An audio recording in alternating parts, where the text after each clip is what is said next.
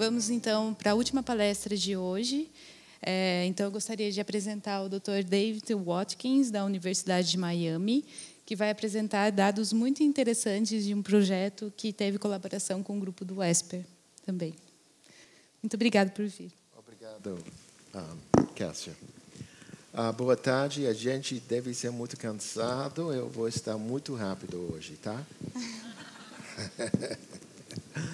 hoje eu vou falar sobre anticorpos. É, isso foi, era uma ideia do uh, Espacalas e eu, uh, fazendo anticorpos contra dengue, para prevenir e tratar. E agora nós estamos fazendo a mesma coisa, ou tentando fazer a mesma coisa com febre amarela.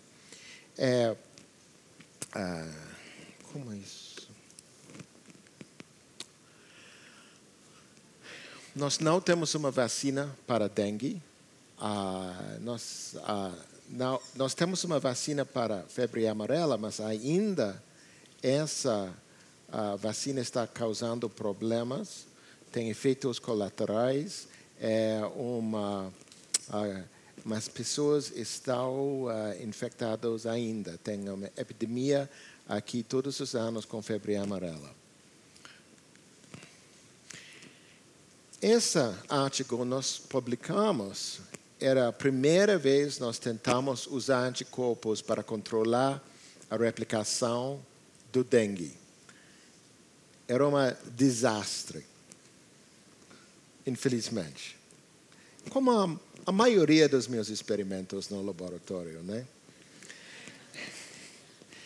Mas nós isolamos o anticorpo muito potente e nós usamos esse anticorpo, injetamos esse anticorpo em macacos, usando AAV para expressar.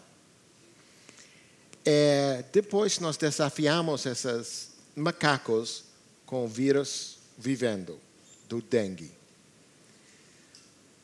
É, inicialmente, o anticorpo bloqueou a replicação do vírus para cinco dias.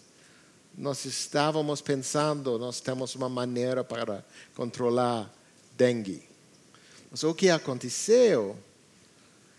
Depois, o vírus começou a replicar é, porque o vírus escapou no site onde a anticorpo está ligando para vírus.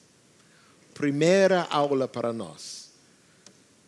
Essas flavivíruses podem escapar. Isso não é bom. Um mutação só para evitar nosso anticorpo. No futuro, nós precisamos testar nossos anticorpos para ver se eles podem selecionar para essas mutações. Lógico, né? Uma aula, primeira aula de anticorpos. Tá bom. Esse é um estudo muito interessante, ah, uma colaboração com uh, Dennis Burton e Tom Rogers, mas o estudo era feito do um, Diogo Magnani, ele é brasileiro, agora ele é professor assistente na Universidade da Massachusetts. Ele fez o trabalho no meu laboratório excelente. É, aqui nós usamos três anticorpos a gente pode ver aqui, nós temos dois anticorpos muito potentes e uma outra anticorpo que não é muito potente. Entende? Diferença. Mas nós queremos usar uma cocktail porque nós queremos evitar o vírus escapando dos anticorpos. Entende? Nós damos a anticorpo, as cocktails, para quatro macacos, e o dia seguinte nós injetamos o vírus verdade. esse vírus era isolado da mena bonaldo, da urina de uma mulher grávida durante a epidemia da Zika, lá no Rio. Isso é muito importante. Isso é um vírus primário. Não está culturado no tecido, no laboratório para muitas vezes. Isso é a chave, é uma ponto muito importante. Nós não sabemos no tempo, mas eu vou te uh, uh, mostrar como. Lembra, três anticorpos, nós colocamos em quatro macacos, nós tratamos os outros uh, quatro macacos como anticorpo que não ligou para a Zika. Vamos ver o que vai acontecer quando nós desafiamos com essa vírus muito quente, tá? Fresco. O primeiro experimento na minha vida que funcionou. Verdade. A gente pode ver ah, muita replicação com anima, os macacos tratados com anticorpo que não ligou, mas olha, não tem replicação do vírus em macacos tratados com nossa coquetel. Eles não viram nenhum vírus. Eles não têm respostas contra o vírus também nossos anticorpos esterilizou, eles esterilizaram, desculpa, uh, o vírus, tá? Uma grande surpresa. Tá bom. Nós podemos prevenir a Zika. Tá bom. É mais fácil prevenir do tratar. Mas essa para mim falou David, se eu tenho um paciente grávida no meu escritório com sintomas da Zika, o que nós podemos fazer? Vamos usar um anticorpo para controlar o vírus, né? Mas você acha um anticorpo pode fazer isso quando a paciente é cheia de vírus? Vamos testar em macacos. Mais uma vez, três macacos grávidas, nós damos nossos anticorpos. É um que não tem anticorpo, mas nós temos outros macacos para ver o que aconteceu quando o macaco não está com anticorpo. Nesse caso, nós infectamos aqui e dia 3, nós tratamos com nossa anticorpo. O que você acha vai acontecer? Quem sabe, né? Porque é muito difícil para controlar. Nós temos 10 mil copias por ml, até 1 milhão de copias por ml, no macaco inteiro. Mais uma surpresa, verdade esses dois macacos, dia 3, tive muito vírus, dia 5, nada. Uma tem vírus. Nós não sabemos por que essa macaco tem vírus. Mas isso mostra pela primeira vez que a gente pode usar anticorpos para controlar a replicação de um vírus, do flavivírus, em vivo, pela primeira vez.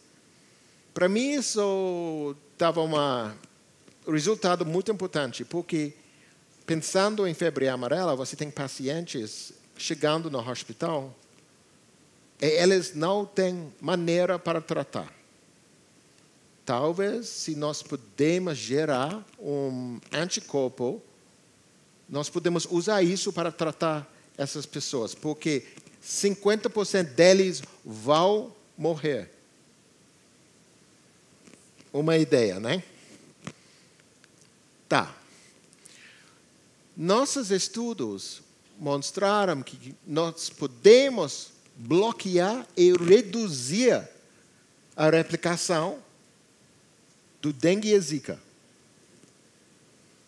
mas nós precisamos usar uma anticorpo que não seleciona para o vírus que vai escapar. Ah. Então, nós usamos uma cocktail de anticorpos. Dois potentes e outro não muito potente.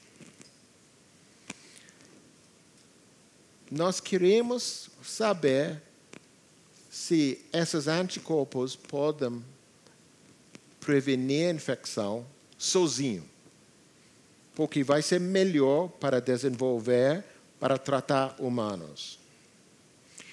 Isso estava uma grande surpresa, porque a gente pode ver só um anticorpo preveniu infecção.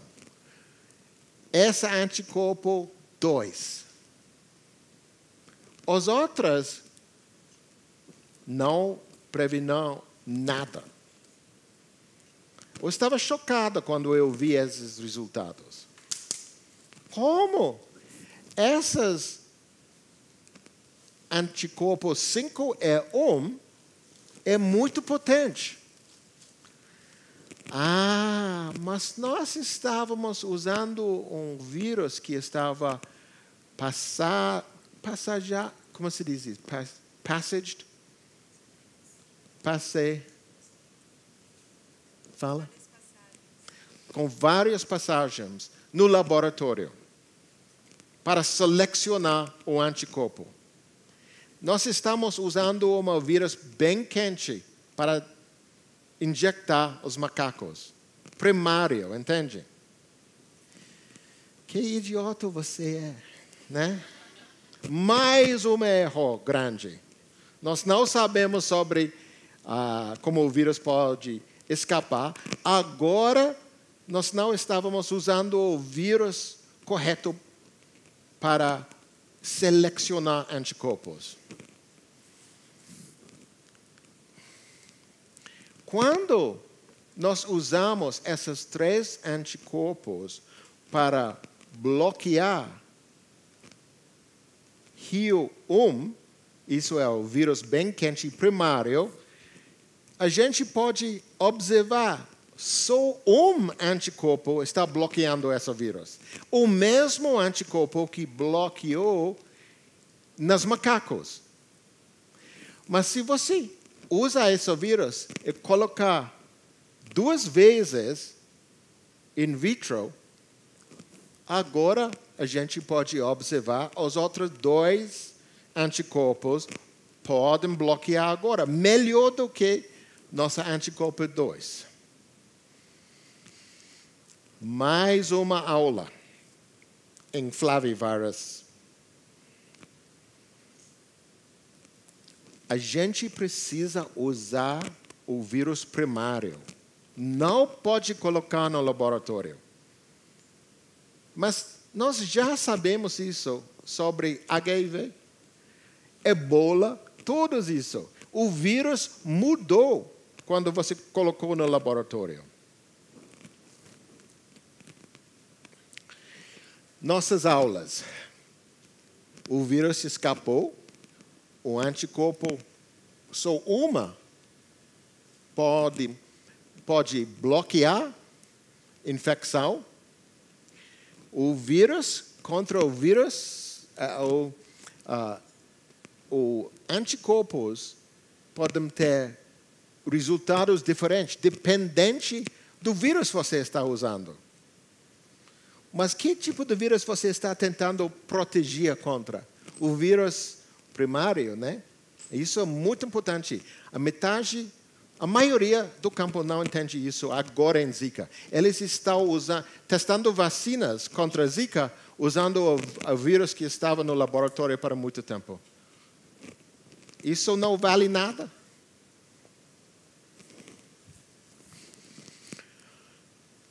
Mas nós podemos ver o que vai funcionar em macacos usando o vírus correto no laboratório. Também, mais importante para a febre amarela, uma anticorpo pode reduzir a carga viral depois da infecção. Isso estava uma grande surpresa para mim. Tá bom. Muito rápido vou falar sobre os nossos experimentos com febre amarela. Eu não preciso uh, falar sobre isso para vocês, porque vocês não uh, estão vivendo essa epidemia aqui. Isso estava um homem muito bom na Inglaterra que tomou uma vacina contra a febre amarela e ele morreu. Terrível. Essa uh, vacina está matando um cada 400 mil pessoas. Se nós tivermos uma anticorpo, talvez nós podemos evitar isso depois da vacinação, tratando imediatamente talvez. E para vocês, vocês estão muito preocupados, né? Sobre isso. Primeira coisa, mais importante para brasileiros na área de saúde. Eles tiveram muitas epidemias aqui. Eles vão lá e vacinar pessoas na área mas 50% das pessoas infectadas estão vacinadas recentemente. Isso quer dizer que os anticorpos precisaram tempo para desenvolver depois vacinação. Nós estamos pensando que nós podemos usar um anticorpo para prevenir na área de epidemia e para tratar. Mas é sua ideia. Nós precisamos testar isso em macacos. Mas, primamente, vai ser muito difícil. Olha a carga viral em macacos. 10 para 12. Isso é muito vírus nos macacos. Como nós podemos reduzir isso e prevenir a morte. A gente pode observar entre 5 e 10 dias, a maioria dos macacos já está morte. Isso é o vírus primário. Você acha o anticorpo vai reduzir esse nível de carga viral? Quem sabe, né?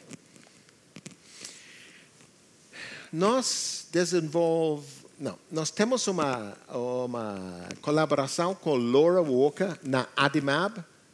É, ela isolou muito anticorpos das pessoas vacinadas. É, a gente pode observar, nós temos muitos tipos e nós temos muitos anticorpos que podem neutralizar. Isso é vírus de vacina, entende? Mas nós já como se diz, aprendamos esse problema. Nós precisamos usar esse anticorpo para bloquear o vírus selvagem, né? O vírus primário. Ah, eu vou rápido aqui. Comena Bonaldo, lá na Fiocruz, no Rio, ela tem isolados primários. É, nós estamos testando nossos anticorpos que podem neutralizar o vírus vacinal. É, a gente pode observar, só poucos estão neutralizando o vírus primário do febre amarela isolado de um macaco. Isso não é fácil.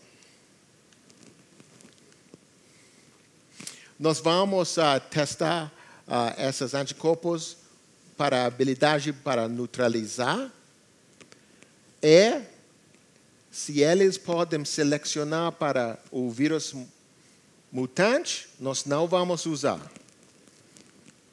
Nós vamos usar hamsters para ver se eles podem. É um modelo muito bom para ver uh, no primeiro uh, etapa. Nós estamos tentando isolar três anticorpos que nós podemos usar no coquetel. Uh, nós vamos fazer PK studies para ver quanto tempo o vírus o anticorpo está lá no, no sangue. E finalmente, experimentos em macacos com uh, o vírus selvagem uh, é para ver se nós podemos prevenir e se nós podemos tratar. Nosso alvo é humano para gerar um anticorpo que nós podemos man, uh, fabricar para usar em humanos é para ESPA testar aqui em São Paulo. Vamos ver se nós podemos fazer isso. Uh, eu gostaria de uh, dizer obrigado para esses estudos, especialmente o brasileiro Diogo aqui sem as pessoas aqui em uh, uh, São Paulo, ESPA, Cássia, Mariana, isso é impossível no laboratório do Dennis Burton, especialmente Tom Rogers. Nós usamos três centros de uh, diferentes. Uh, nós temos outras colaborações com Mena Bonaldo, muito importante, uh, Steve Whitehead, Maurício Martins, mais uma brasileiro, Ron de Rosias, Justin Julanda e Laura Walker. Esse trabalho, muito uh, lugares dando dinheiro. Obrigado. É, perguntas, mas fala devagar, sem sotaque, tá?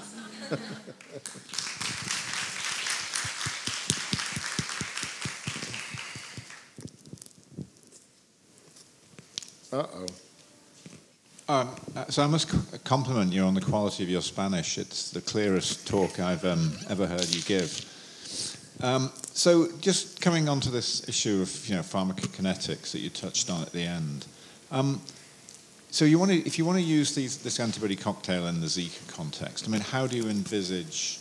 What, what, what would be the plan? I mean, give it, give it to pregnant women at what stage of the what stage of their pregnancy? I mean, how do you see this? I'll answer in English first, and then I'll quickly Sure. translate into. So, um, so how would we actually use these antibodies? So, let's say Zika comes back in three years, and we have an antibody that's been tested in, in humans. People want to get pregnant. They would start by having a shot of antibody. We'd put mutations in it, LS mutations. It would last four months and then give them another dose to hopefully for, protect them. I think treatment doesn't work because I, I- I think in those two monkeys that we dropped the virus load, one of them, the virus went across the placenta already. So i it's not going to work for treatment. I think that, yeah, that, that's what I was thinking. You'd want to use Right. this for prevention, but at what stage of pregnancy and how Yeah. often would it, it You know, depends on the planned pregnancies, you go in and Yeah. take it before and then halfway through. People in Brazil were going to Miami to have babies during the Zika epidemic. Yeah, There's a really sure. horrendous um, thing here. So that would be the way that I would think about that. In terms of dengue, I would, um, you know, if there's an outbreak, uh, go in and deliver antibody, 20 milligrams per kilogram if Yeah. we can, and hopefully, again, with LS mutations, also with LALA mutations, because you don't want to have antibody dependent enhancement. Um, and also, maybe we could use it to treat. There is fatal dengue, but it's almost always correlated with the size of the virus load. But could we catch them early enough? We don't know. And the same would be true for yellow fever. Um, could we, uh, you know, there's a yellow fever uh, outbreak, go in and inject everybody. It doesn't have to last four or five months. Um, but could we also treat them? Again, we don't know that. We have to test it in, in monkeys. I think the treatment option is more probable than the other options. So. Entende, estudantes? Não? Sim? Tá bom. O I meu ha- I have a inglês question. está bom? I have a question. I would like to, to know your opinion. Why has it been difficult to, to isolate an, a potent neutralizing antibody against yellow fever? Do you think uh, we are missing something, or do you think it could be related with the virus, the yellow fever virus, or the, the disease pathogenesis? Uh, you're you're asking a question about our attempts to isolate from plasmablasts. Because we have potent neutralizing antibodies from memory B cells. So I think, think in the case of plasmablasts, um, it's a primary yellow fever infection.